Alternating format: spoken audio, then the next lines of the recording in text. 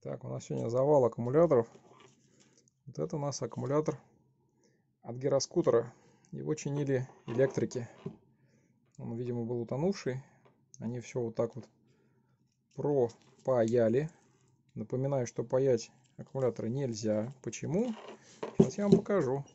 Это аккумулятор, который был спаян полгода назад.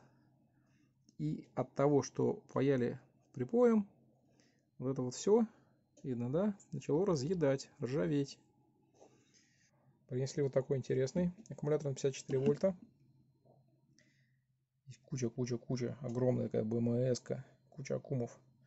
Здесь, походу, вообще все мертвое. Сейчас тоже буду прозванивать, проверять, что происходит.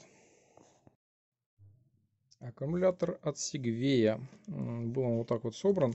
Попала вода. Видно, что корродируют, гниют контакты, которые были приварены.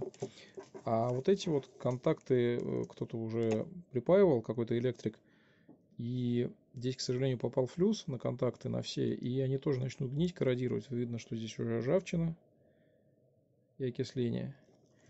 То есть рано или поздно он разрушится, и это будет очень опасно. Здесь стояли вот такие просто бумажки. Сейчас я их ставлю на место. Потому что это, если их не ставить, то может закоротить. Это очень опасно и переверну. Вот. Так вот у нас выглядит аккумулятор в сборе. Здесь идет коррозия на контактах, то есть это все гниет. Самые, ну, две ячейки здесь были мертвые. То есть две ячейки я померил, они мертвые, их можно поменять, и стоимость ремонта аккумулятора будет всего стоимость двух ячеек, то есть рублей 200-250 за ячейку. Но проблема больше меня вот это беспокоит. Здесь вот видно, что коррозия контактов Здесь вот зелень. Здесь вот все гниет, все сыпется. То есть аккумулятор был конкретно залит водой. И если вот это сейчас сюда воткнуть и оставить, то, во-первых, оно сюда до конца не втыкается. Я уже его вставлял. Сейчас я попробую, может быть, еще раз вставить на камеру.